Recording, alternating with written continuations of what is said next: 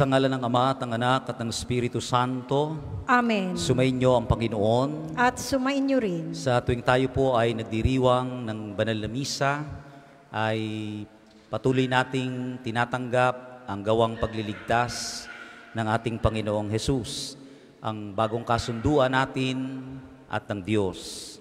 Kaya dumulog tayo sa Panginoon na muling nagtitiwala sa napakadakilang pagmamahal niyang ito sa atin. Aminin natin at pagsisihan ang mga nagawa nating mga kasalanan upang tayo ay maging marapat na gumanap sa ating banal na pagdiriwang. Sama-sama po nating sabihin, inaamin ko sa makapangyarihang Diyos, Diyos at sa, inyo, mga kapatid, na lubha akong nagkasala sa isip, sa salita at sa gawa, at sa aking pagkukulang, kaya isinasamo ko sa mahal na Birhen Maria, sa lahat ng mga anghel at mga banal, at sa inyo mga kapatid, na ako'y panalangin sa Panginoong ating Diyos.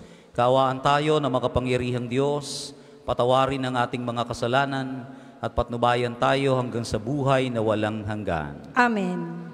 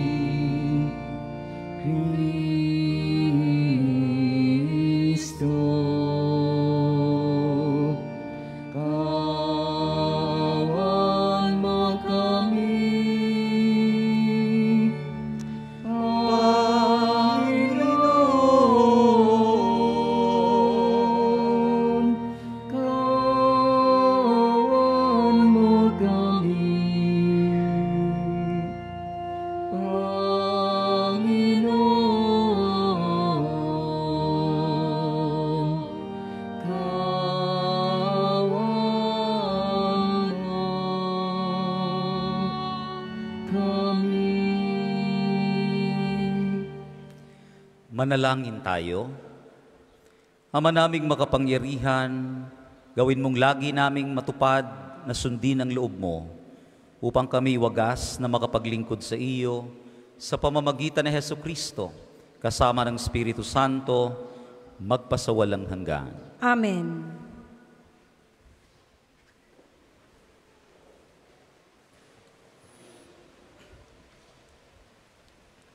Pagbasa mula sa sulat ni Apostol San Pablo sa mga taga-Roma.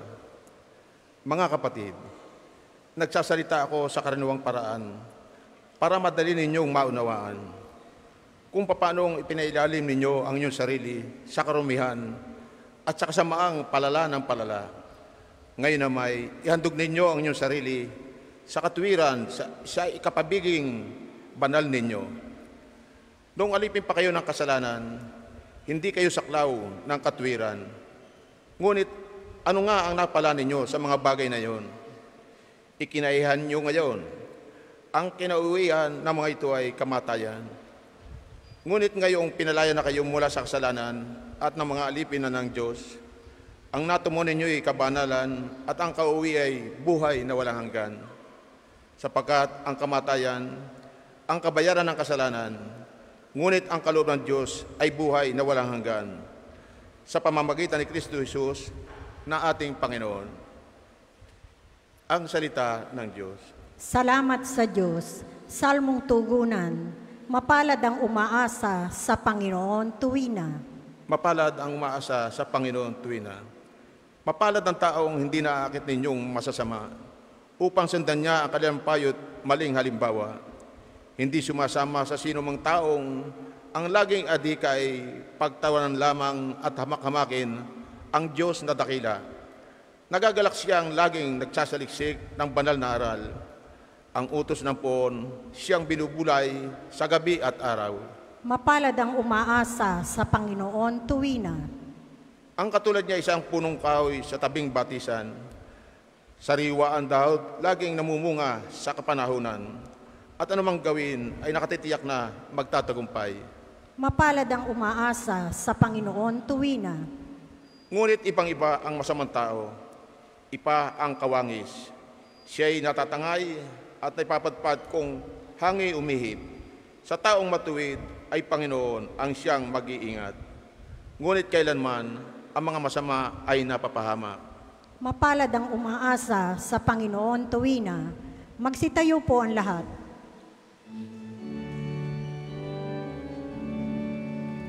Hallelujah.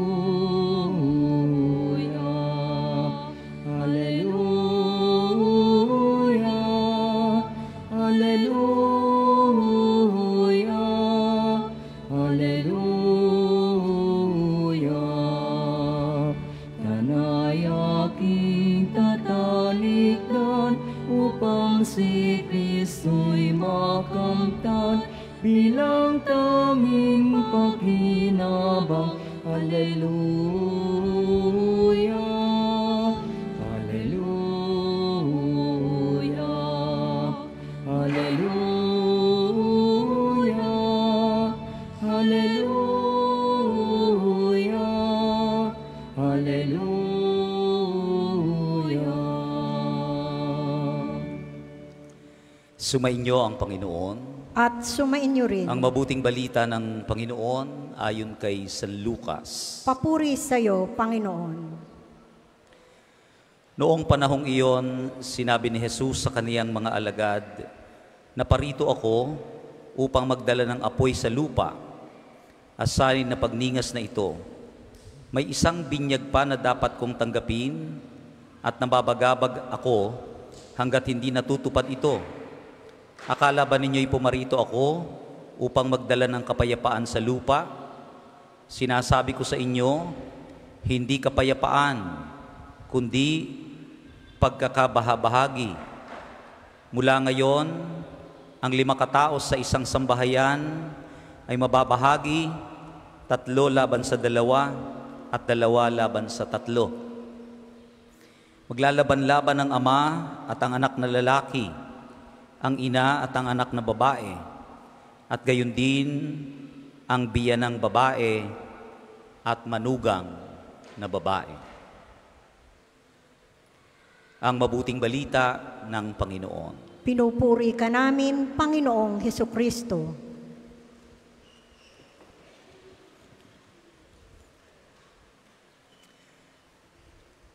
Minsan po ay ako ay nagpunta sa isang barangay para magmisa doon po sa sa Quezon.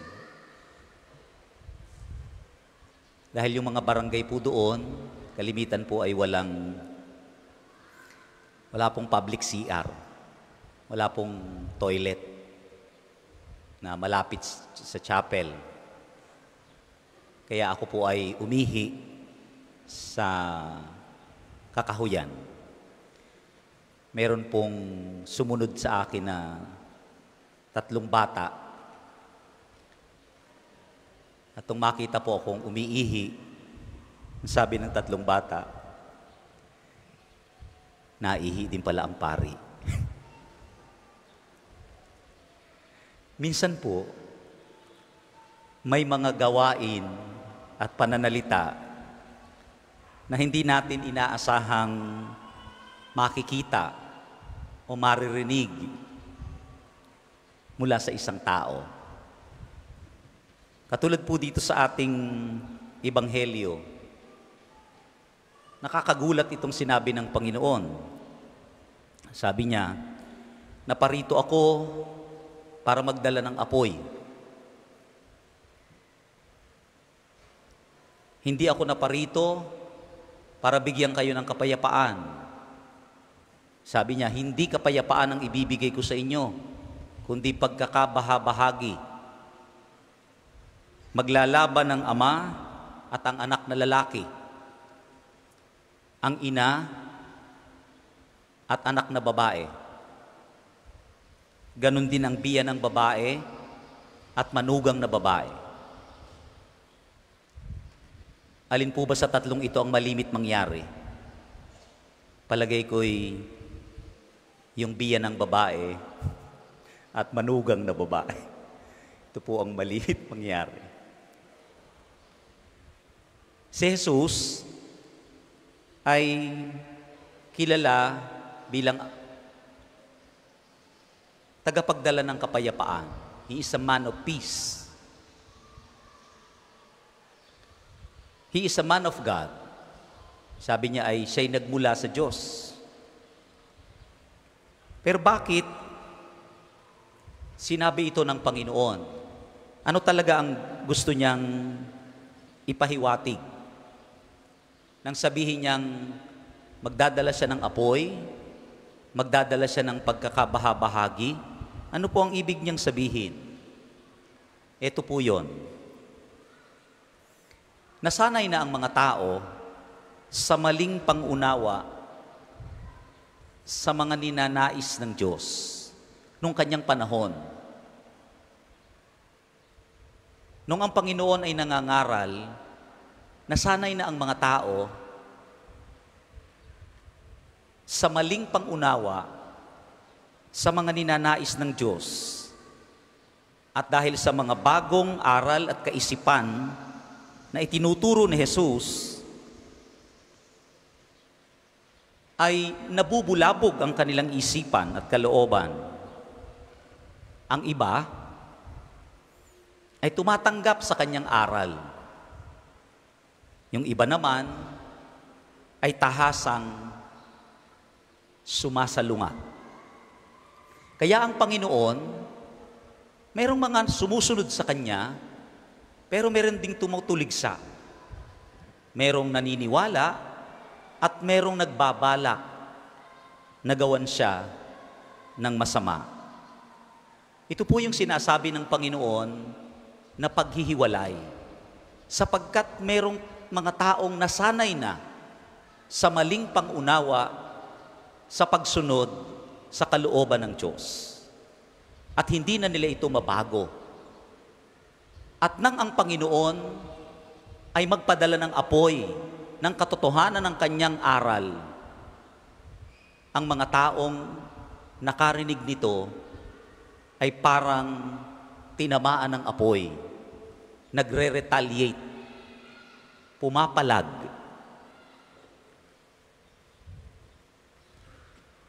At dahil ang iba ay naging matapat at sumunod at naniwala sa mga aral ni Jesus, at ang iba naman ay ipakikipaglaban ang kanilang nakaugalian at kinasanayan kahit ito'y mali.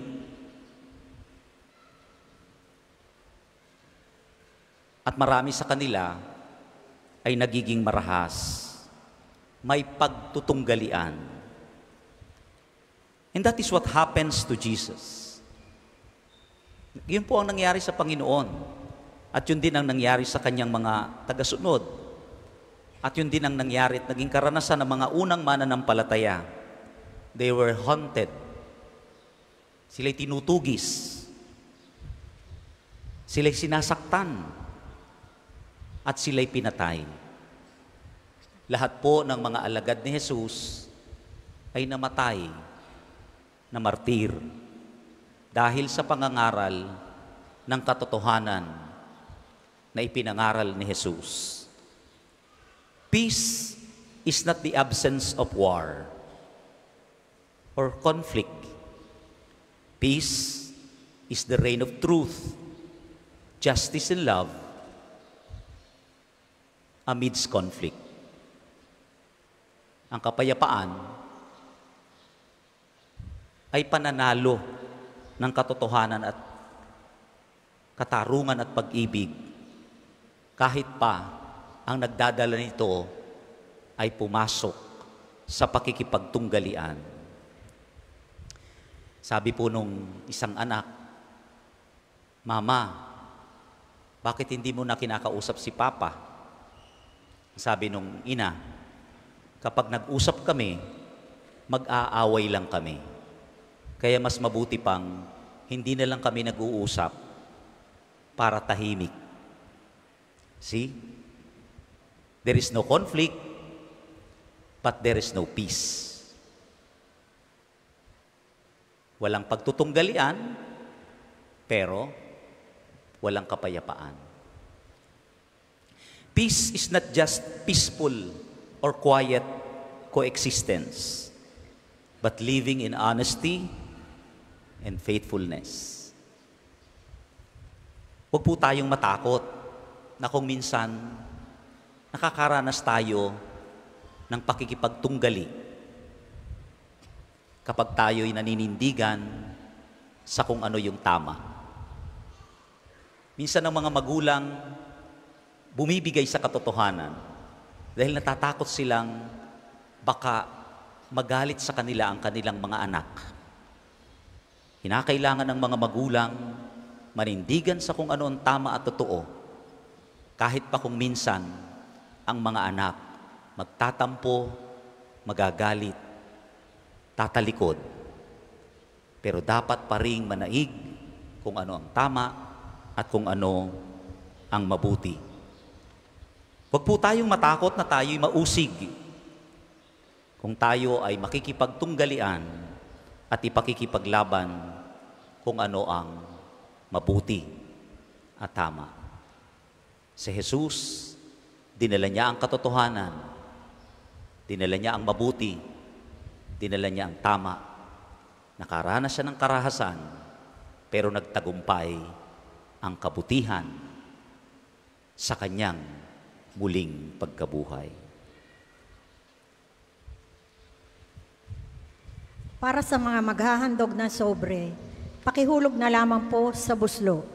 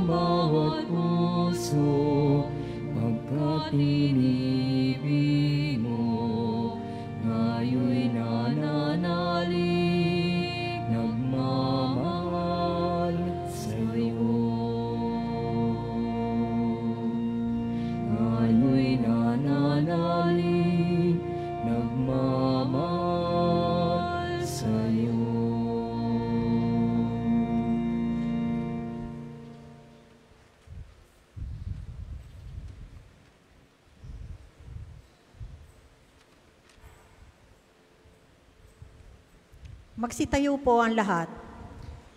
Manalangin kayo mga kapatid upang tayong lahat at ang ating pag-aalay ay maging kalugod-lugod sa Diyos samang makapangyarihan. Tanggapin nawa ng Panginoon itong paghahain sa iyong mga kamay, sa kapurihan niya at karangalan sa ating kapakinabangan at sa buong sambayanan niyang banal.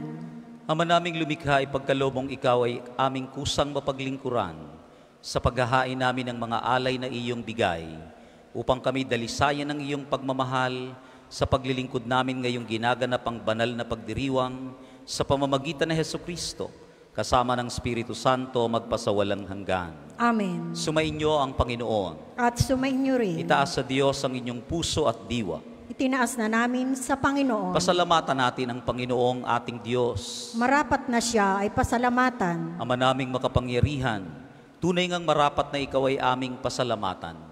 Pinagbibigyan mong ito'y aming maihayag, kahit na ito'y walang anumang maidaragdag sa kadakilaang sa iyo ay likas. Sa pagpupuri namin ang nakikinabang, ay kami ring iyong pinakikiharapan sa pamamagitan ng iyong anak na minamahal. Kaya kaisa ng mga anghel na nagsisiawit ng papuri sa iyo nang walang humpay sa kalangitan, kami nagbubunyi sa iyong kadakilaan. Santo, Santo,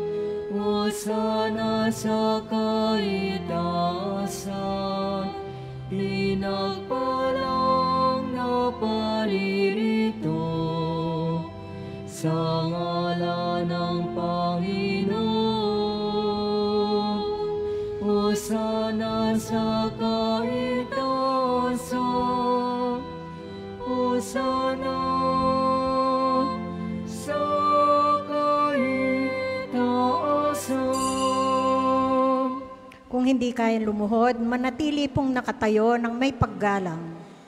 Ama naming banal, ikaw ang bukal ng tanang kabanalan, kaya't sa pamamagitan ng iyong Espiritu, gawin mong banal ang mga kaloob na ito, upang para sa aming maging katawan at dugo ng aming Panginoong Heso Kristo.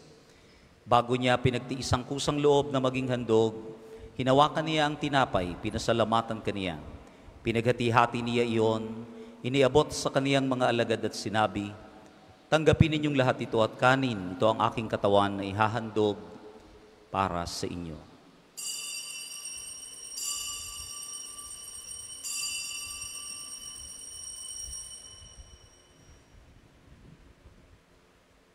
Gayun din naman, nang matapos ang hapunan, hinawakan niya ang kalis, muli kanyang pinasalamatan, iniabot niya ang kalis sa kaniyang mga alagad at sinabi, Tanggapin ninyong lahat ito at inumin, ito ang kalis ng aking dugo ng bago at walang hanggang tipan.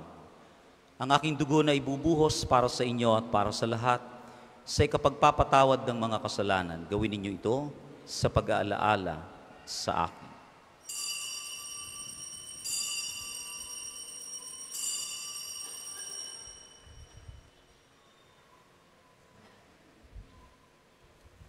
Ipagbunyi natin ang misteryo ng pananampalataya. Si Kristo'y namatay, si Kristo'y nabuhay, si Kristo'y babalik sa wakas ng panahon. Ama, ginagawa namin ngayon ang pag-aalaala sa pagkamatay at muling pagkabuhay ng iyong anak.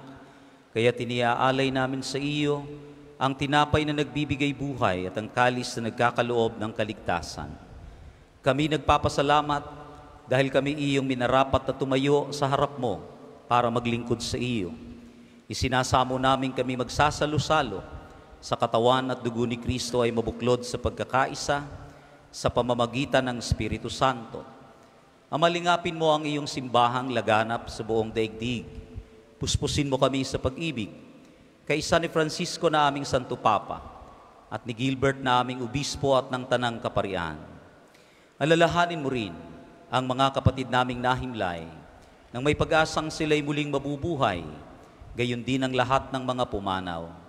Kaawaan mo sila at patuloyin sa iyong kaliwanagan. Kaawaan mo at pagindapatin kaming lahat na makasalo sa iyong buhay na walang wakas.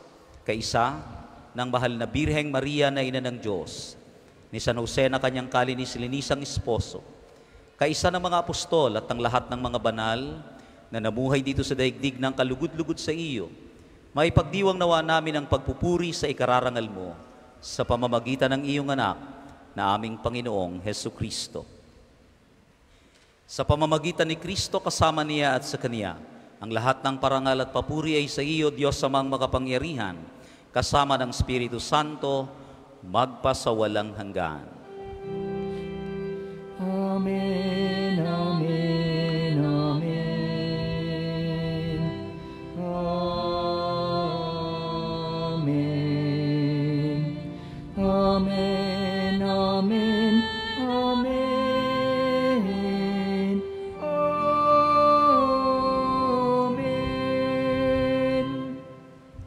Sa tagubili ng mga nakagagaling na utos sa turo na Jesus na Panginoon natin at Diyos, awitin natin ang lakas loob. Ama namin, sumasalangit ka. Sambahin ang ngalan mo. Mapasa amin ang kaharian Sundin ang loob mo dito sa lupa para nang sa langit. Bigyan mo kami ngayon ang aming kakanin sa araw-araw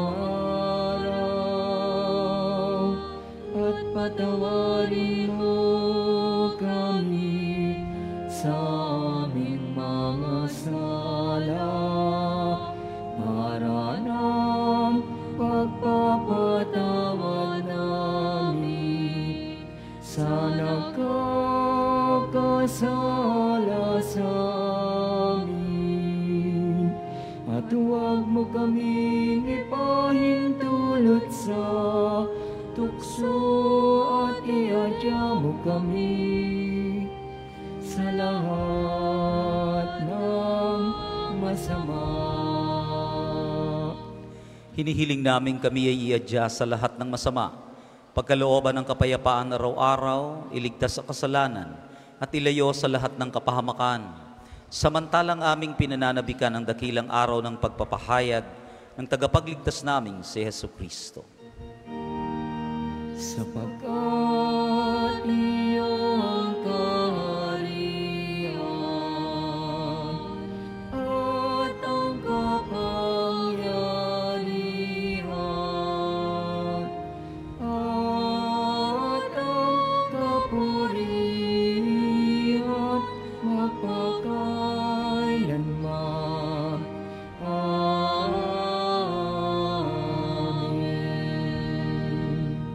Panginoong Kristo, sinabi mo sa iyong mga apostol, kapayapaan ang iniiwan ko sa inyo, ang aking kapayapaan ang ibinibigay ko sa inyo. Tunghayan mo ang aming pananampalataya at huwag ang aming mga pagkakasala. Pagkalooban mo kami ng kapayapaan at pagkakaisa ayon sa iyong kalooban, kasama ng Espiritu Santo magpasawalang hanggan. Amen. Ang kapayapaan ng Panginoon ay laging sumainyong lahat. At sumain niyo rin. Magbigayan kayo ng kapayapaan sa bawat isa. Kordero ng Diyos na nag-aalis ng mga kasalanan ng sanlibutan, maawa ka sa amin. Kordero ng Diyos na nag-aalis ng mga kasalanan ng sanlibutan, maawa ka sa amin.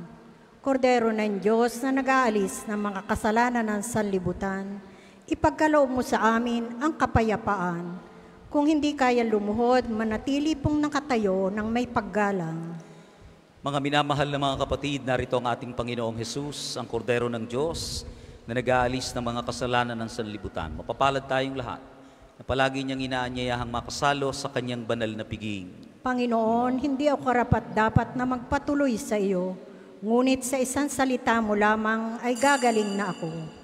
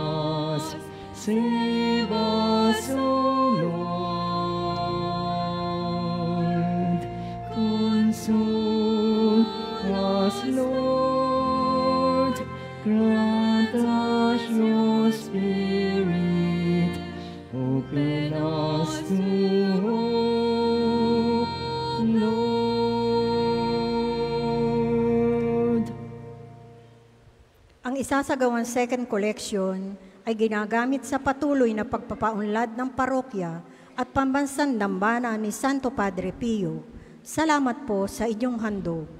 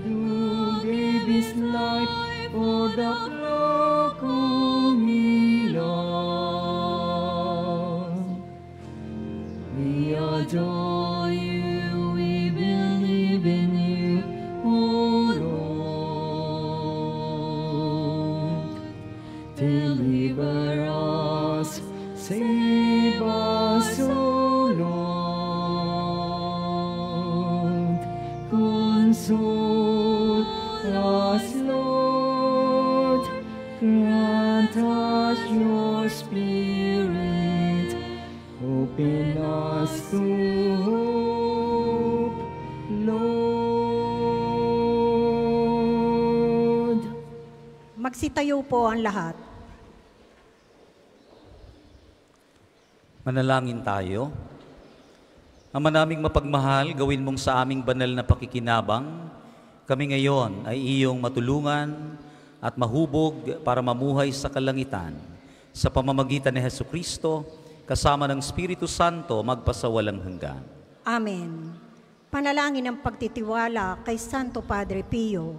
Tayo pong lahat, Padre Pio, taga Pietrelcina, Mongheng Banal, Pintakasin Santo ng Milenyong Kasalukuyan, gabay namin sa pagtahak sa landasing makalangit, takbuhan sa pangangailangan, huwara ng pagtitiis, sa iyo namin inilalapit aming mga kagipitan, sa iyo po ay binibilin kalusugan at kabuhayan.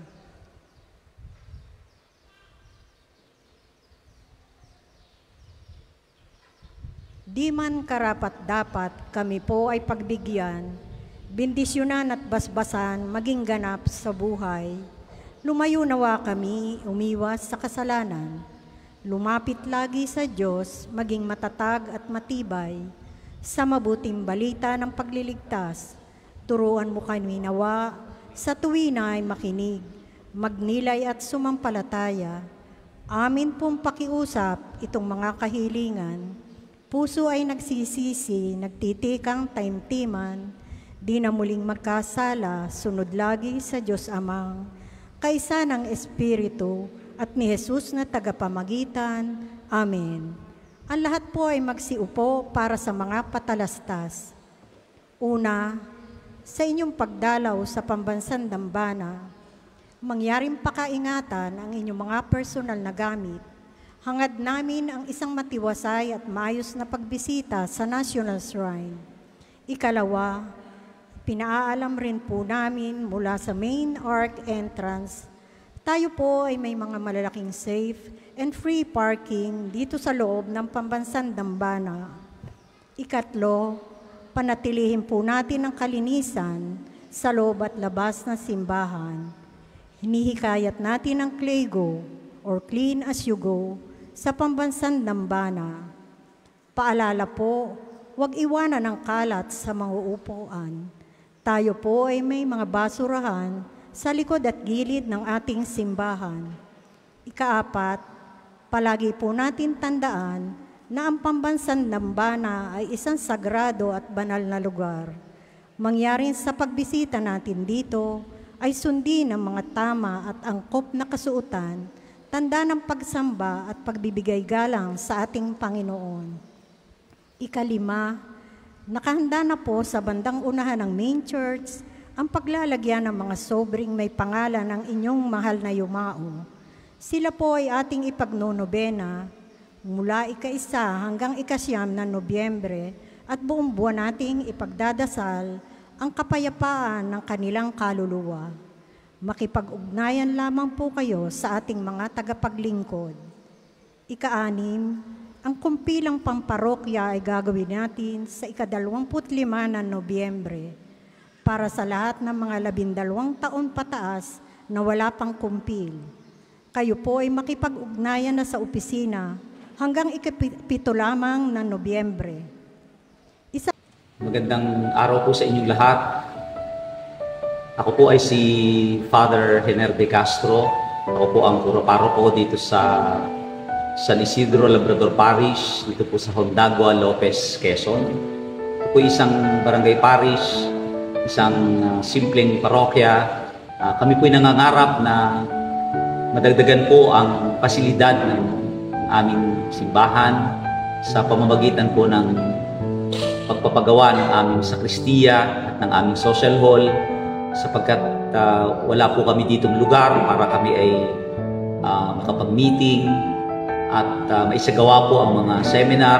Kami po ay dumudulog sa inyong kabutihang loob. Kami po ay inyong uh, matutulungan sa sana po ay uh, uh, kami ay inyong uh, matulungan sa ganitong pamamaraan. Magandang araw po muli sa inyo.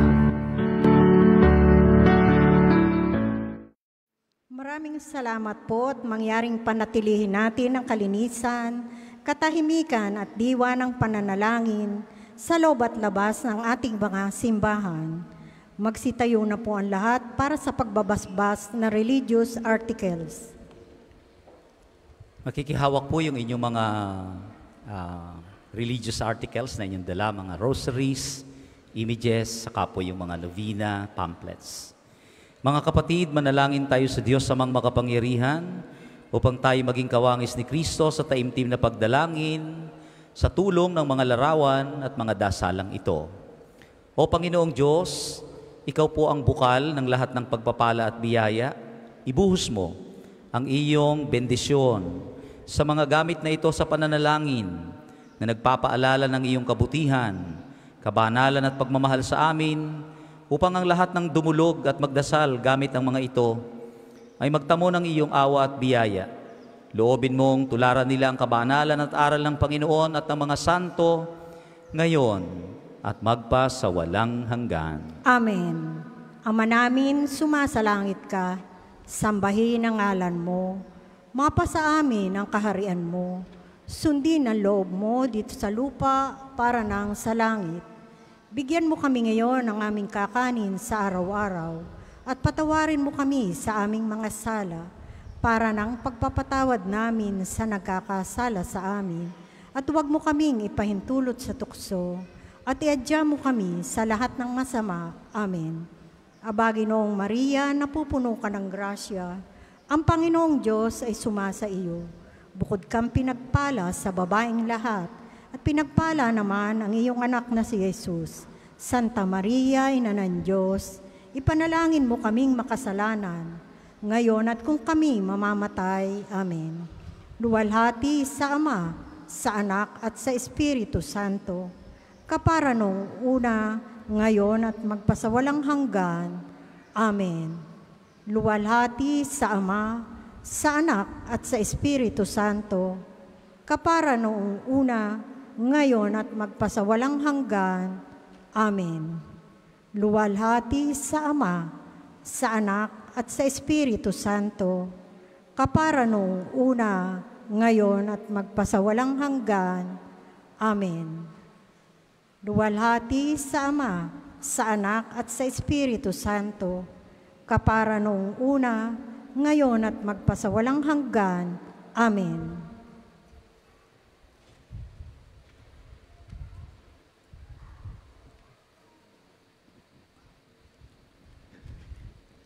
Sumainyo ang Panginoon At sumainyo rin. at kayong lahat ay pagpalain ng makapangyarihang Diyos, ng Ama, at ng Anak, at ng Espiritu Santo.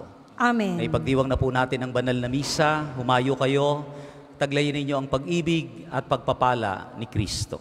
Salamat sa Diyos. Unang mahal narito kami awit-awit ng Ave Maria sa